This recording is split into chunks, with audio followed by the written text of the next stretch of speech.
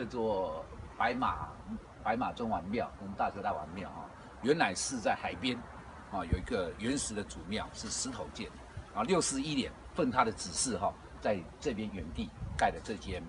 庙。哎，我们大邱人原来每年都要拜，大概八十三年，我们记者选跟陈文举他们家最后有迁走，可是我们每年啊固定我们这些乡亲。还是回来远郊那边住在这边啊，也是一样，从来没有中断过啊。我们嗯，当中啊拜的是白马中王庙，白马白白马中王跟大丘大啊，这边是天上圣母，还有那个土地公啊，土地公啊，我们每一年都是固定的啊，这几个兄这几个乡亲啊回回来啊，一定就还没有从不间断的，从不间断啊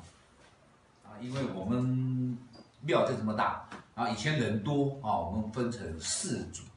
四组就是大家共比为，就是也是以白马为主。那我们现在人少，可是我们也是一样，大家多放一点啊，也是跟以前一样，把这个整个贡品摆满啊，还是一样有一只猪啊，还有素猪啊。那因为大体量，我们就说人少哈，大猪就抬下来，真的有点困难啊。就是今年啊，他奉他的指示。我们改成宿租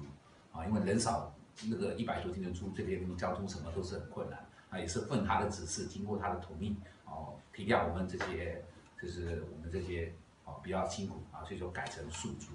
来的。